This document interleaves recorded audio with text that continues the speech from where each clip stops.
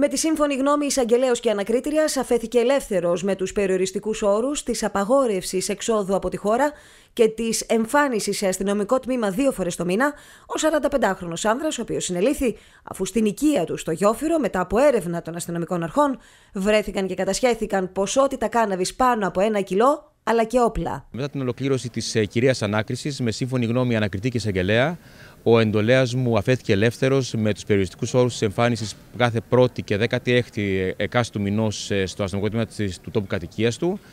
και της απαγόρευσης εξόδου από τη χώρα. Η σύλληψη του 45χρονου στο πλαίσιο της έρευνας που έγινε την περασμένη Κυριακή ήρθε μετά από πληροφορίες που είχε για τη δράση του το τμήμα αστυνομικών επιχειρήσεων Μιλοποτάμου. Η ποσότητα που εντοπίστηκε στο σπίτι του ήταν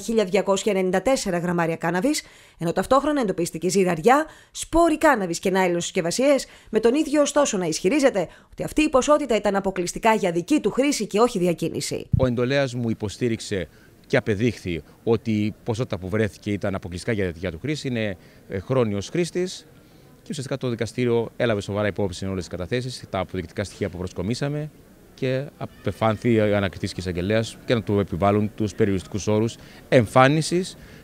κάθε πρώτη και δεκάτη όχι, όπως σας είπα πριν από λίγο, και της ε, απαγόρευσης εξόδου από τη χώρα. Για τα όπλα και τα φυσίγγια που βρέθηκαν επίσης στο σπίτι του 45χρονου, κατά την έρευνα την οποία έγινε, ο ίδιος υποστήριξε ότι του δόθηκαν στο παρελθόν από συγγενή και πως εμπίπτουν στην κατηγορία των κοιμηλίων. Τα όπλα τα οποία βρέθηκαν στην κατοχή του ήταν ε, δωρεά από κάποιο συγγενικό του πρόσωπο το οποίο απεβίωσε και είναι κοιμήλια του γερμανικού πολέμου και δόθησαν